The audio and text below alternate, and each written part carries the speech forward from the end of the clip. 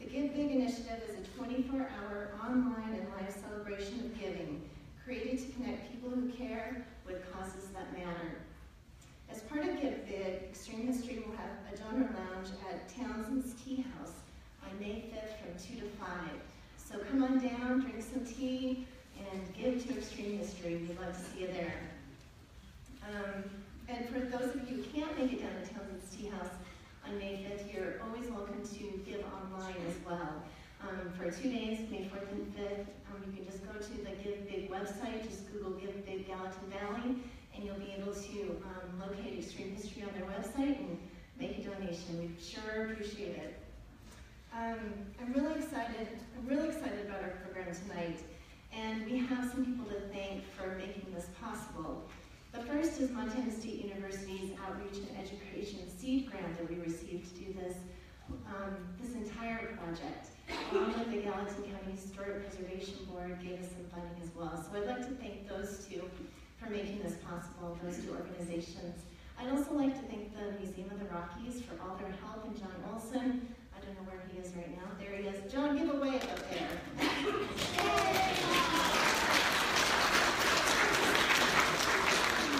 we have a lot of moving parts tonight, and he's made them all move, so thank you so much, John. I'd also like to thank Michael Fox, who is out in the um, lobby, and he's guarding the artifacts right now, but um, he's here to help us tonight as well, so thanks Michael Fox to the lobby. Um, I'd like to go ahead and introduce all of our panelists tonight. We have a great lineup here. We have um, two professors and three students. So I'm going to start off by introducing Nancy Mahoney. Nancy, can you just give a wave? We go. Uh, Nancy's a professor at Montana State University teaching in American Studies and Anthropology. She's also working on her PhD in American Studies. Nancy has a BA in Anthropology from Emory University and a master's degree in Anthropology from George Washington University. Nancy is a great mentor to her students, as you'll witness tonight, and she does an amazing job of engaging students in archaeology and original research projects, showing students how important and exciting archaeology can be. Her dedication to students and the passion for her work is a natural catalyst, bringing students into the fields of archaeology and history. She's a wonderful professor and a wonderful teacher, so glad to have her and glad to have her as a colleague and a friend. Um, Jack Fisher, Jack, give a wave, all right. Jack is an associate professor of anthropology at Montana State University. Dr. Fisher's archaeological research interests and adaptations of prehistoric hunter-gatherers of Montana and also southern Africa. Jack has also carried out ethno-archaeological research among hunter-gatherer peoples of central and southern Africa. Jack has been teaching at MSU since 1990 and has also given students wonderful opportunities to engage in original research here at Montana State University, including me a long time ago. um, Grace Dorman, Grace, raise your hand. Uh, Grace was born and raised in Minnesota. She came to Montana State University in the fall of 2016, transferring in from Texas Christian University, where she studied cultural anthropology. She has been working for Nancy on the Fort Ellis project since her first semester here at MSU. This was her first archaeological experience, but I dare say she may be hooked. Um, Grace has really enjoyed her work with the Fort Ellis Project, but would also like to pursue the field of medical anthropology. Danny House, Danny, give a wave, there we go. Grew up in Livingston, a fellow Livingstonite, um, and he is majoring in anthropology and minoring in astrobiology at Montana State University. He works at Bridger Bowl during the ski season and is a die-hard ski bum when he's not in the archaeology lab with Jack analyzing artifacts. He also has a radio show on KGLT where he plays rock and roll.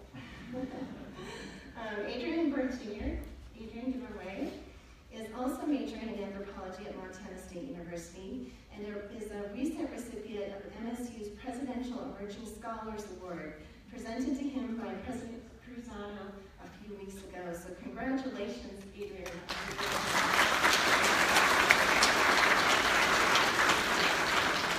Adrian is an enrolled member of the Great Crow Nation and is dedicated to learning and teaching the history of the Crow tribe in order to preserve and retain their culture. So thanks so much to all of our presenters this evening, and please join me in welcoming Nancy Mahoney to.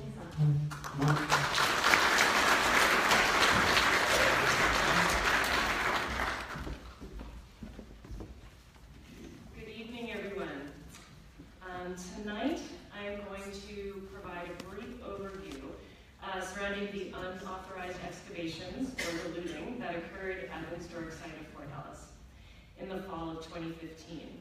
Uh, however, the emphasis of um, the presentation is going to be on what we think of as the silver lining, in that we've used this unfortunate event as an opportunity to educate, collaborate, and promote stewardship both at MSU and within the Bozeman community, and we're hoping to wrangle in maybe a few of you who are interested and enjoyed seeing the artifacts outside.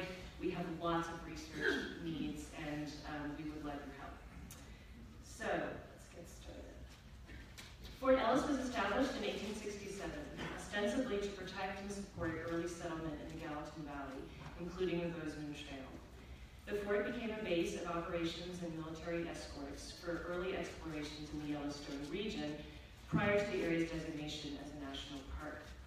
Fort Ellis also served a major role in the expansion of the Northern Pacific Railroad in the Yellowstone Valley, as well as military operations in the Sioux War of 1876 and 77 and the Nez Perce War of 1877.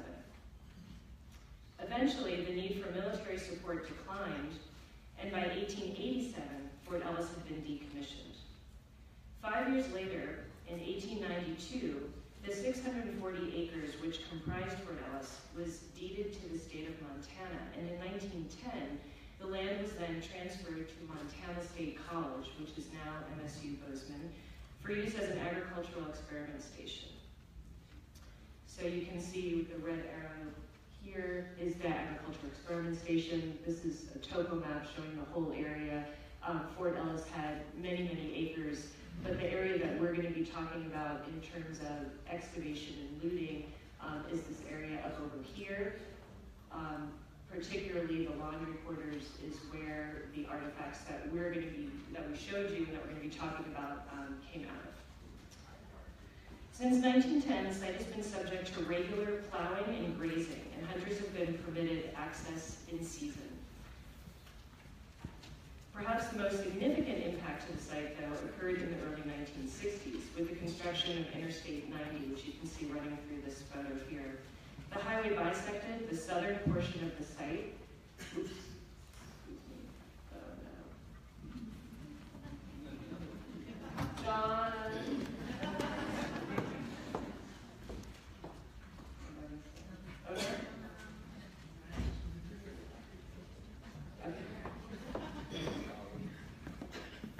So this is actually north on the slide, and this is south down here. So we're we're looking at the east side here and west side oriented. So it's in a different orientation than the last one. Um, where am I? Okay. The highway bisected the southern portion of the site, and several collectors reportedly retrieved hundreds of artifacts that had been exposed during construction.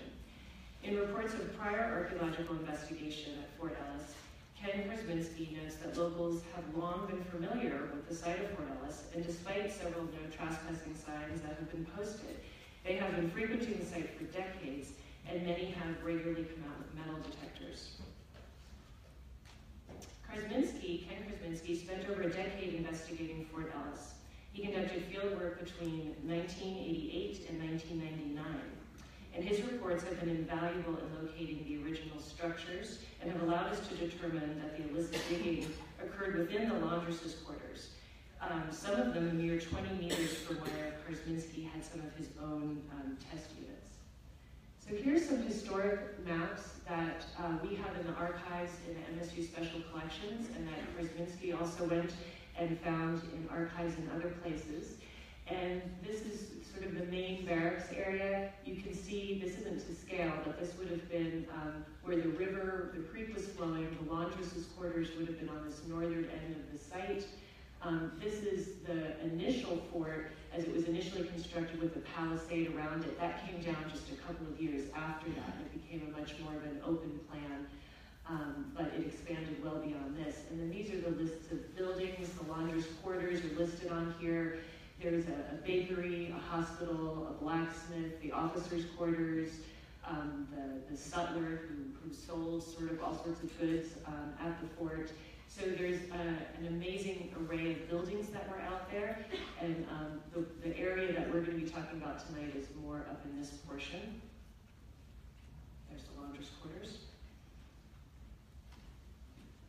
So to start at the beginning, in late October of 2015, a landowner off Kelly Canyon Road reported to Dr. Craig Lee, who I think is here tonight, that he had encountered several individuals who were digging in search of historic artifacts on MSU property at the site of Fort Ellis. Dr. Lee informed the State Historic Preservation Office, as well as members of the Anthropology Department at Montana State University. Reports of the event were disturbing to us because Fort Ellis is located just three miles southeast of Bozeman, right in our own backyard.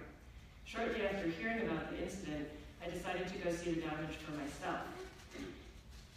This is a photograph that was taken a few months later. When I initially gone out in November, there was a light covering of snow. I went out with my husband and we could see a much more massive um, exposed pit with artifacts than we had expected to see. Um, so despite the light early November blanket of snow, it was clear that the looted area was extensive. The individuals had dug a pit that extended over approximately 35 square meters to an average depth of about 25 square meters. Hundreds of artifacts were plainly visible on the surface, some stacked in piles along the edge of the pit, all exposed to the elements, and winter was coming. Animal bones comprised a significant, significant portion of the visible material, and our immediate concern was that these items were clearly subject to deterioration. I immediately conveyed the extent of the damage to my colleagues at MSU, and we began to consider how best to approach the issue. In the meantime, MSU increased police patrolling of the site and did catch looters at the site and confiscated two beer bottles, which are now curated at the Fort Ellis Collection at Museum of the Rockies. This is one of the only two bottles that the looters said that they had recovered from the site. MSU chose not to press charges, noting that the um, no trespassing signs were rusted and overgrown with. As reports of the vandalism spread through the archaeological community, several articles began to appear in local newspapers. The Montana Pioneer on January 1st, 2016, an article spearheaded by Dr. Larry Lahren. The Billings Gazette on February 8th, 2016, and finally the Bozeman Chronicle on February 19th of 2016. The article in the Chronicle was prompted by a panel discussion organized by the Gallatin History Museum on February 17th. The museum opened the event to the public in part to address local concerns about protecting the site. The panelists included Crystal Alegria, representing the Montana Site Stewardship Program, Bill Jones, the director of the Gallatin History Museum, and MSU representatives Barry Jacobsen, associate director of the College of Agriculture, and Tracy Ellig, the executive director of University Communications. Over 80 community members attended the event, and many openly expressed outrage at the scale of the illicit digging that had occurred at Fort Ellis. They raised concerns about how to deal with the vandalized portion of the site and how to protect it from further damage. The momentum generated by that meeting and the follow-up article in the Chronicle led to a collaborative effort among MSU faculty, staff, and administrators to mitigate the site damage and turn the event into an opportunity for undergraduate fieldwork, staff training, and community outreach.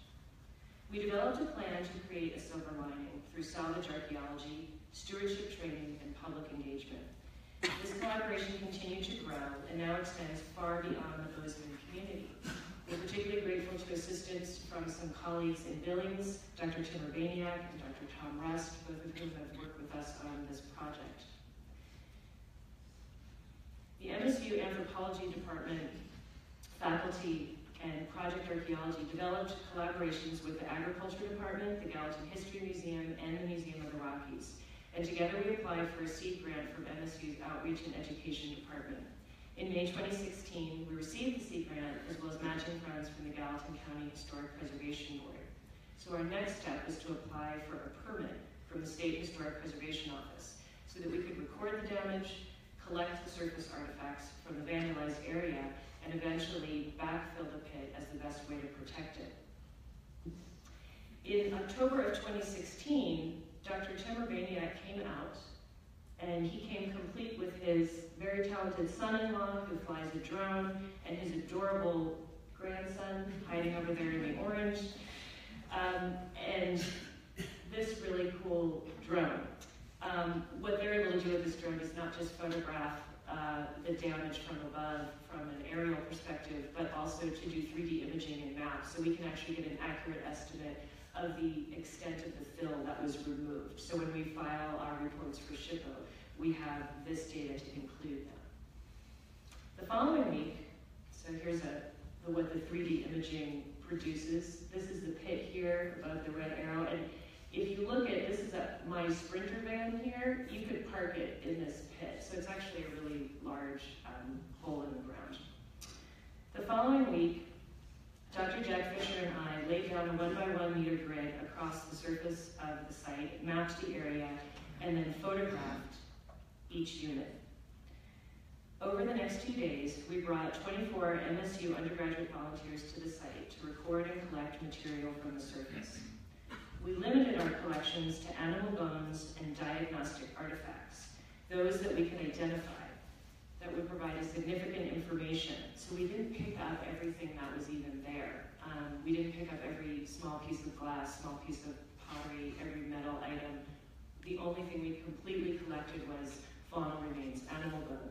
So the artifacts that you're seeing outside are a small portion of what we collected, what we have back in our labs at MSU, and that is a small portion of what was exposed by the looters and left at the site. So we're talking hundreds and hundreds of artifacts. Despite limiting ourselves to diagnostic specimens, we recovered hundreds of items, including metal canteens, buttons, some of the oldest Budweiser bottles ever produced in the nation, fragments of ceramic serving vessels, leather shoes, as well as heaps and heaps of domestic cattle bone.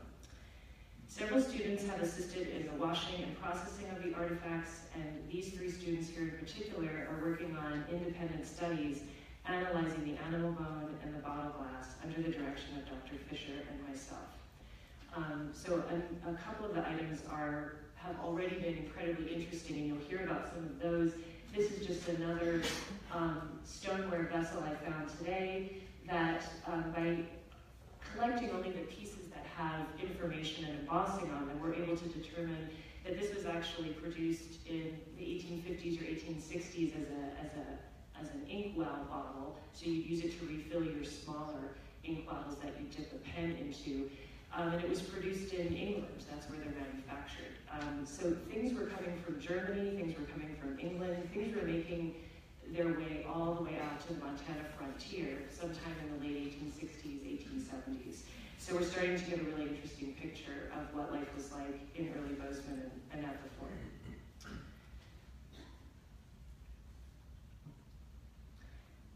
Some of the other things we have been doing in order to make ourselves familiar with Fort Ellis is to go into the basement here at MSU and look at the previous collections that Ken Karsmizki did in the 1990s when he did some test excavations out of the site.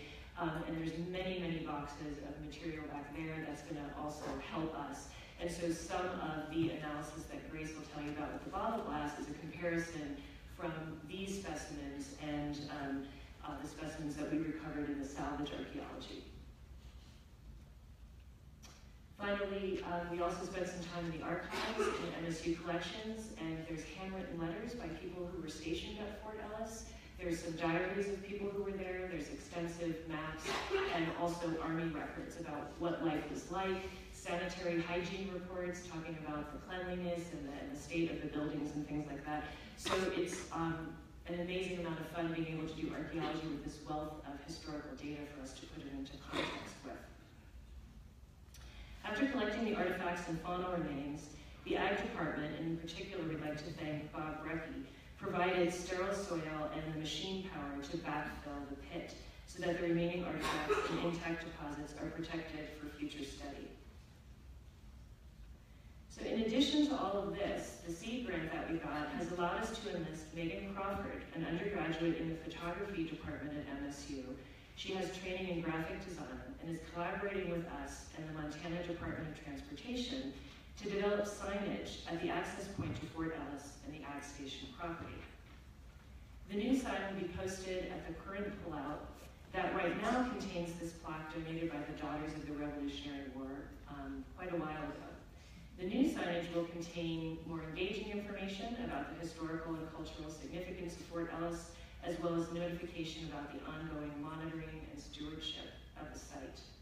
Perhaps most importantly, it will invite members of the public, all of you included, to get involved with the analysis of historical documents and artifacts from Fort Ellis. We're hoping that this project grows into a true community collaboration because it is, after all, the community's history. And with that, I'm going to turn it over to Grace Dorman. Um,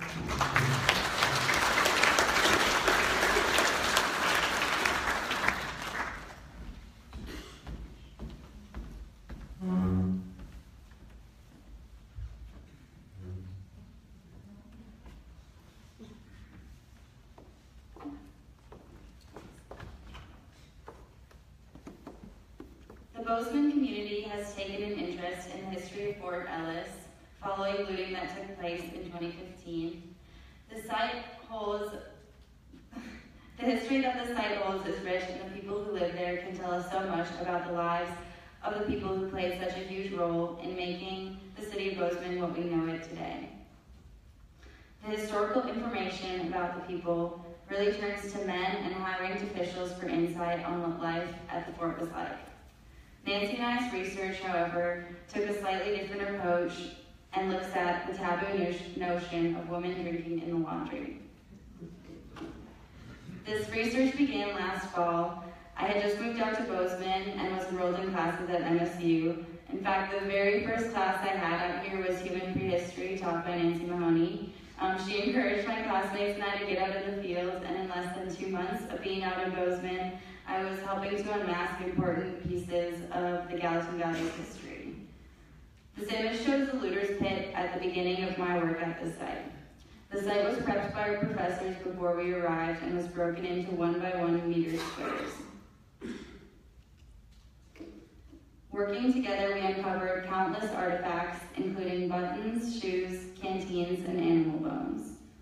Some of the most interesting findings, however, were in the form of glass. Several pieces of aqua glass were unmasked from the dirt, reading original Bud Budweiser across the front. In 2015, two complete Budweiser bottles had been turned over by the looters to the police. We knew that we had some of the earliest Budweiser bottles ever made, and we began to consider whether the residents of Fort Ellis had a penchant for lager. Nancy and I began to work together on answering this question. In our search for knowledge, we consulted many sources, including Fort Ellis Archives at Museum of the Rockies, as well as information on previous fort excavations.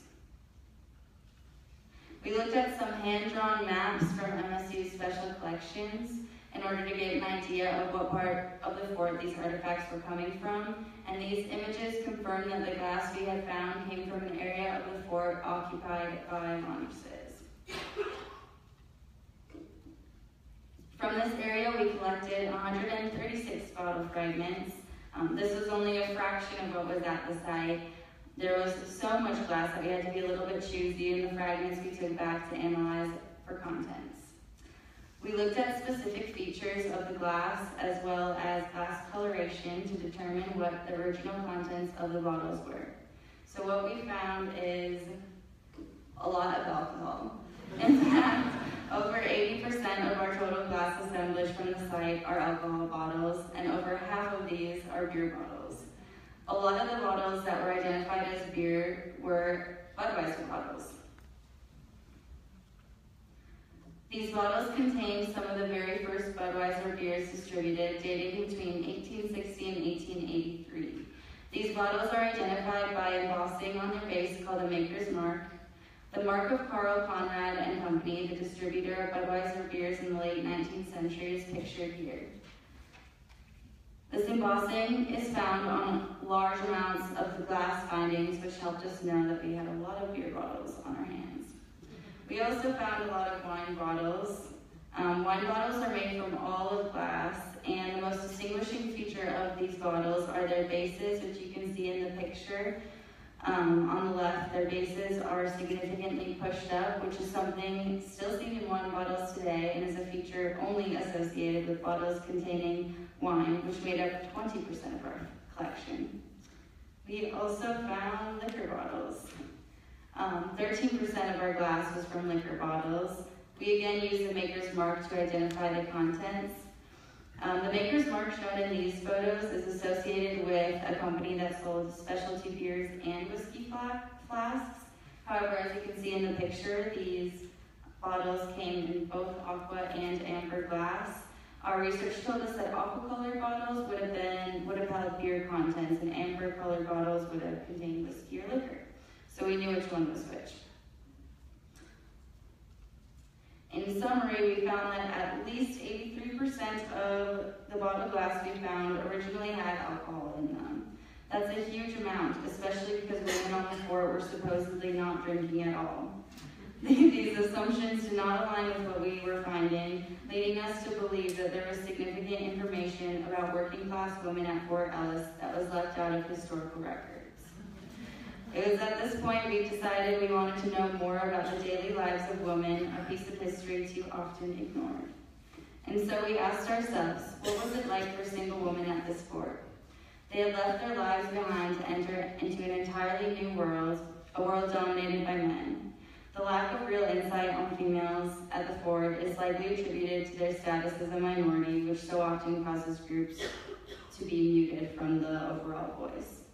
We do know, however, that the women at Fort Ellis were tough, dedicating themselves to grueling amounts of physical labor for a wage they could use to support themselves.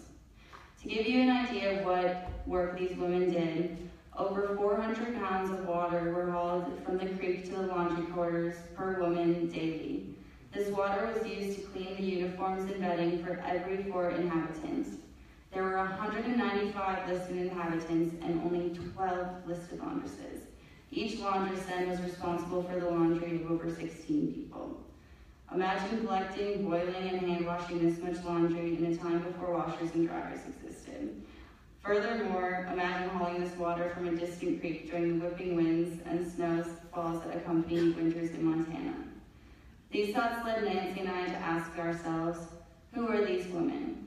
What kind of person would choose the life of an army laundress? And were they, despite strict Victorian era morals drinking alcohol on the job. We considered other possibilities. It is likely to assume that men visited women to get some female attention. Several of the women were, after all, wives of the enlisted men. However, records clearly show that the laundress area was for women only, and men, even husbands, had their own quarters. Furthermore, because the laundress quarters housed all the children at the fort, women would have been more likely to go to the barracks of the men for the special visits. Because of this, it is highly suggested that the artifacts we uncovered from this area reflect the consumption of laundresses themselves. We decided to compare these findings to previous excavations done by Ken Karsmizki on the eastern laundress quarters. Karsmizki's assemblage contains far fewer alcohol-related contents and far more medicinal bottles than salvage found in the western portion of the laundry suggesting a variation in habits among laundresses. This is confirmed in Tom Rust's book, Lost Fort Ellis, in which he states that the unrespectable women were not banned from the fort, but rather kept separate from the respectable women, such that they would not influence each other with their habits. A final comparison is made with the glass assemblage attained, obtained from the men's barracks. This excavation yielded 21 complete bottles. All of the bottles re- recovered contained alcoholic beverages. There were no medicinal or food storage bottles present. Medical records from Fort Ellis show that more men were checked in to the hospital for inebriation than they were for battle wounds during the time that Fort Ellis was in operation. Based on these findings, it seems likely that men were drinking as much as the medical records indicate.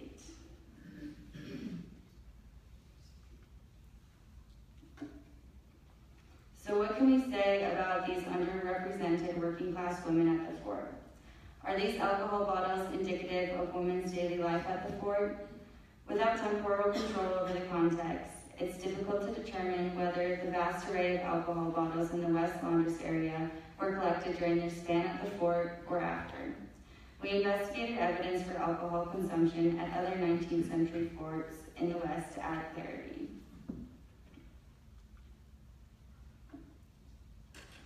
In a master's thesis submitted to the Department of Anthropology at the University of Colorado, Gwendolyn Walansena invested archaeological evidence for alcohol consumption among the laundresses at Fort Garland, a fort that was occupied between 1858 and 1883 in southern Colorado. She found that the laundress quarters, which consisted of four separate buildings, contained ample evidence of alcohol use. A total of 66% of the glass vessel assemblage was unambiguously intended to house alcohol, including ale, beer, whiskey, and champagne. The data from Fort Garland represents a pattern that bears significant similarity to the laundress quarters at Fort Ellis.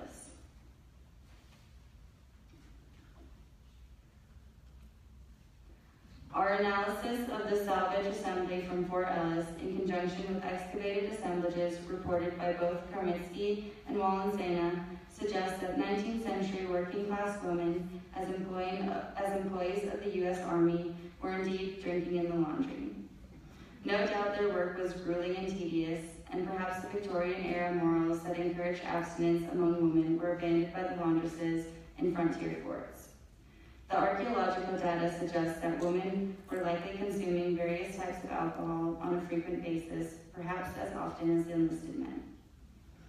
We hope that future research on the historical and archaeological record of Fort Ellis will shed additional light on the lives of single women who migrated west in search of ways to build, to build a life for themselves. And now I'm going to turn it over to Dr. Jack Fisher.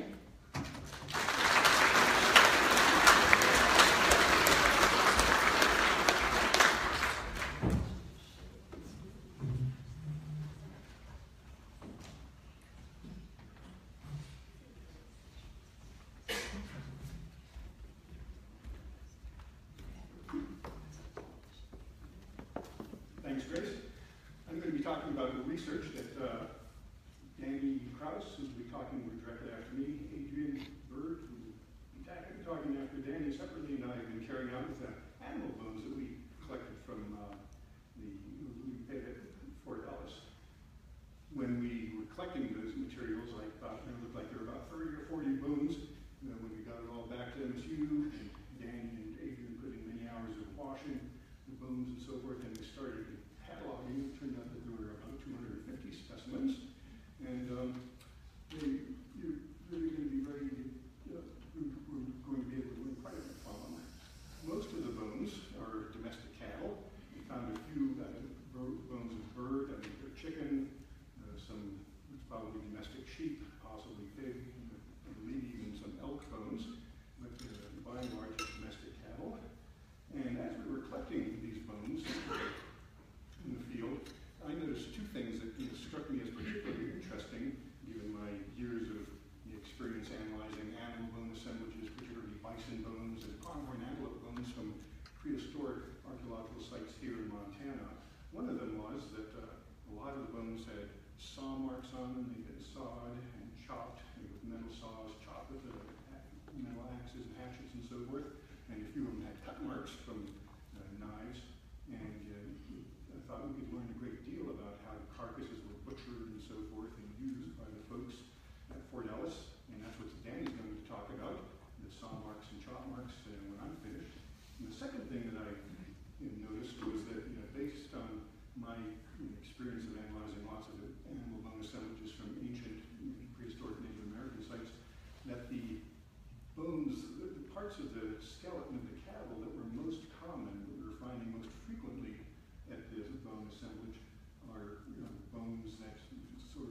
very different from the patterns that I saw in my analysis of bones from prehistoric archaeological sites. So that's what I'm going to focus on because it turns out that uh, you know, archaeological analyses of animal bone assemblages like this, you can learn a great deal by counting up you know, which parts of the skeleton are most common, which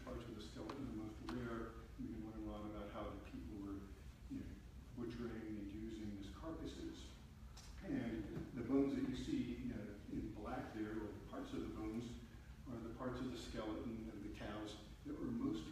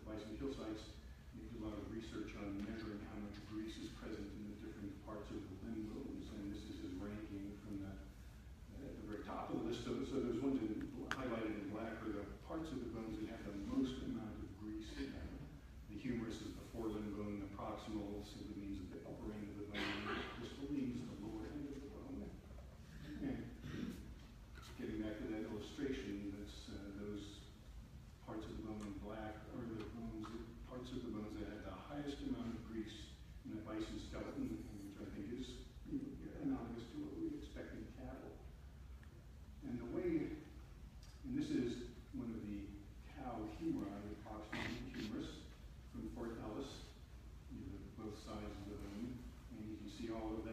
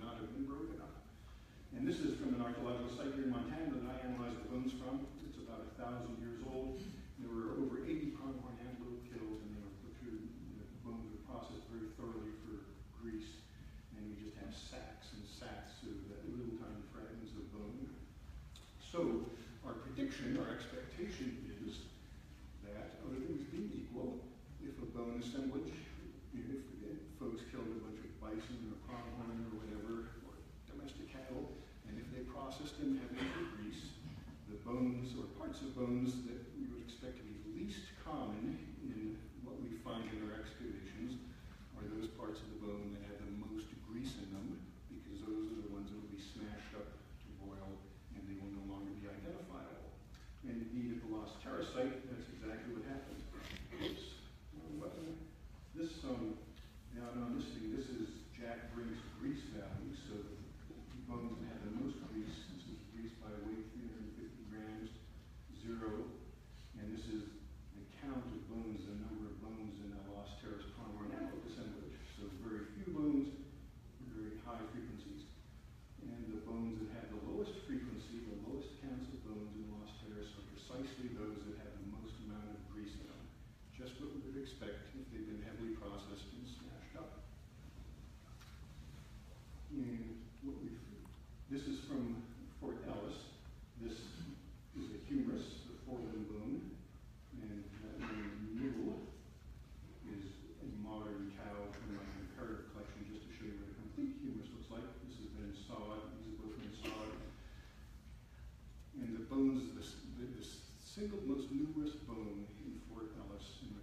large is the proximal of the humerus, the bone that has the greatest amount of grease.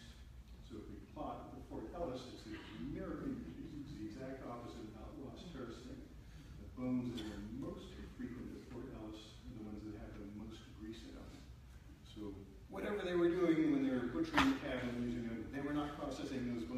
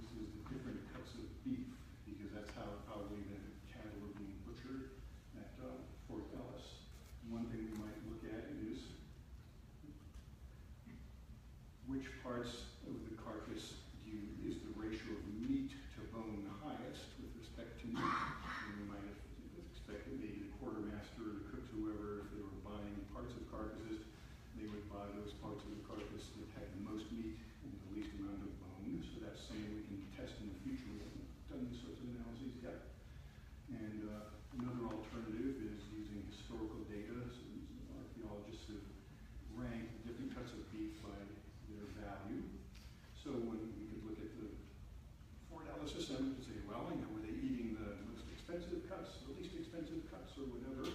Haven't done that analysis yet, but we will. Or, as we follow the lead of some archaeologists, and we could combine those two measures and get the most bang for your buck if you're the quartermaster or the cook by buying those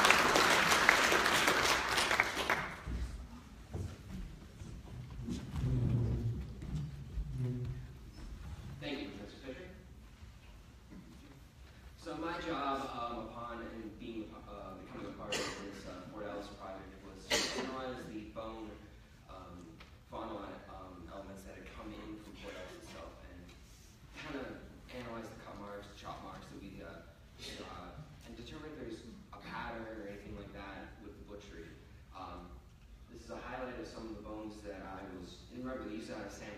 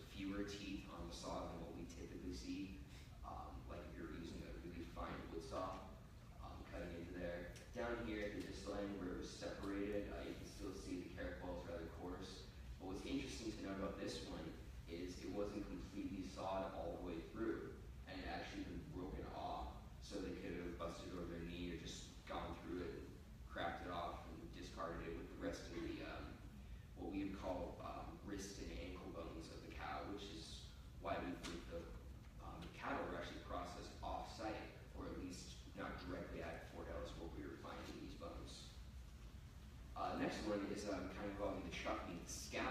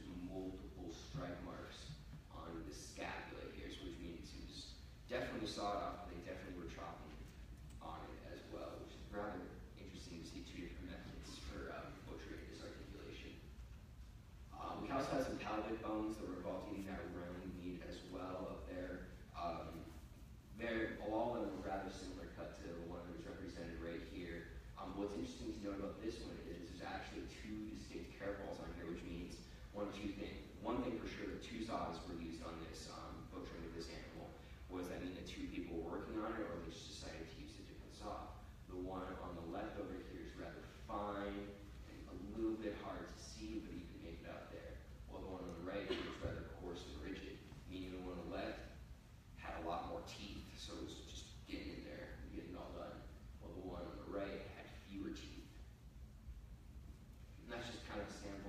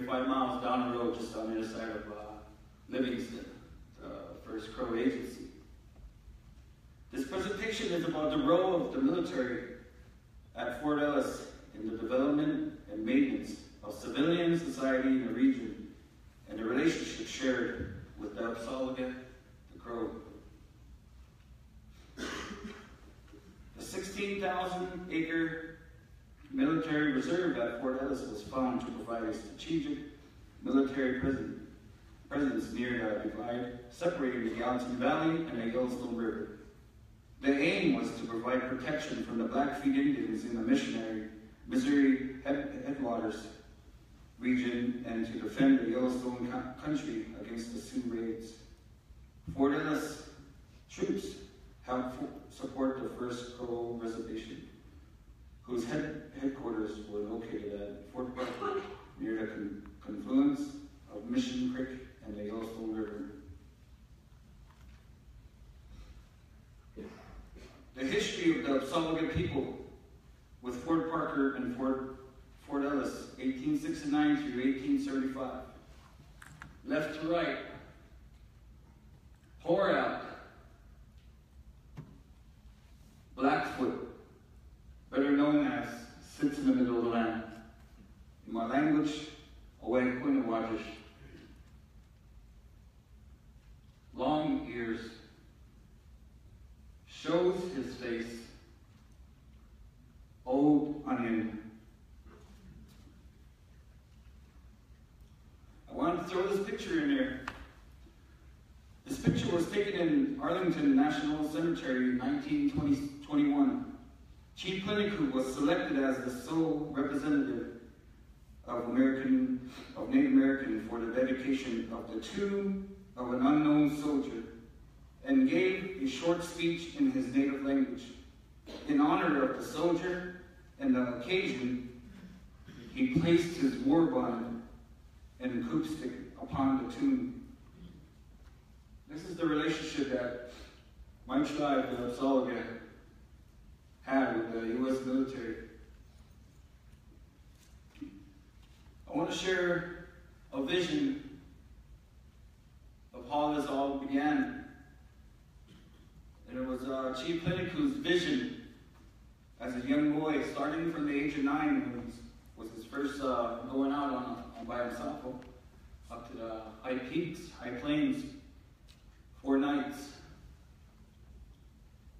The last chief of, of the Crow, Plenty Coups, spearheaded the Crow's strategy to cooperate with the U.S. Army during the Plains War of the 18, 1870s. Plenty Coups went on to fast, as he did on the several occasions throughout his life, in hopes of receiving a vision which would give him power and direction. In his greatest vision, he saw the buffalo disappear and spotted buffalo or cattle appear in their place. A forest was destroyed by a storm, except a single tree. This tree held the lodge of the chickadee, who survived the storm because he was sharp, he was a sharp listener who learned from the others and knew where to pitch his lodge. The dream was interpreted to mean that the cattle, the cattle which replaced the buffalo represented the whites taking over the Crow country. The tree which survived was the crows, who was who would survive the coming of the white man because, like the chickadee, they listened and learned from the experiences of other tribes and placed themselves, pitched their lodges in the right place. The powerful vision guided Plenty Coups' through his life. It told him to adapt to and cooperate with the whites so the crows would survive prosper. It guided him as leader of the tribe through the difficult times ahead. Chief and, three, and, and 135 warriors volunteered to become scouts for General George Crook in the 1876 campaign against the Cheyenne and the Sioux. Crow Scouts were also with General Custer at the Battle of Little Bighorn. After the battle, Crow warriors under Plenty Coups continued to support the U.S. Army as it pursued the Sioux and the Cheyenne. In conclusion, the relationship between the U.S. military at Fort Ellis and the Apsáalooke was beneficial for the U.S. government, but in the end, it was not beneficial for the Apsáalooke. The relationship, the relationship became more complex as time went on and is still complex, but the, trans, the transitional period holds a great deal of importance of the Apsáalooke. The people of Montana and every U.S. citizen who now benefit from this, from this rich history. Thank you.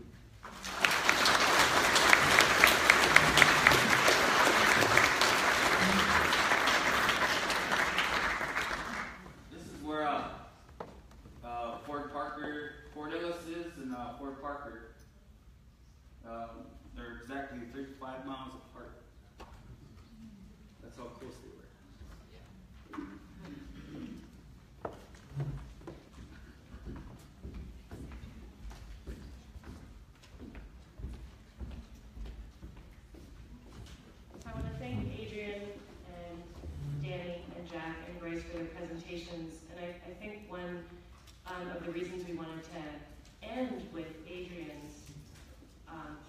in this project is we never want to forget that this is about, I mean, it started with a situation about looting, but this is really all about um, a story about people and voices that have been lost to us in the past, and the incredible impact that this fort, which supported the town of Bozeman, was an economic engine, the impact that it had on the entire ecology of this valley and the surrounding area and the ecosystem, and most importantly, the lives of all the people who were living here and making a living here um, before you had all of these immigrants coming in who settled in the valley. So it's a fascinating story um, that we have so much historical information and a lot more archaeological work to do. So we're excited to have anybody um, in the community who's interested contact us and get involved. And one of the other ways we're hoping people might participate is to engage in stewardship of archaeological sites, historical sites in the area, um, to help keep them protected. So we have some training for the um, uh, Montana Site Stewardship Program that's coming up in June. Is that right, Crystal? Yeah. Okay, June, she says yes. I think it's on there. And this one's going to be right here in Bozeman. And um, the idea is that sites that we value, that are important to the community, that are important to all of our histories, um, you would go and visit them uh, once every couple months or on a more regular basis if you can, just to make sure that either impacts uh, erosion, environment, or impacts, human impacts, um, aren't uh, um, really creating the uh, disappearance of a site that's important to us. So if you're interested in getting involved in that way, or you're interested in doing some research, we're really happy to talk to you afterwards. And in the lobby, we invite you to look at the artifacts and ask us questions. So for right now, we're going to um, open it up for a few minutes of questions, about uh, five minutes of questions or so, and then we'll let you go for the evening.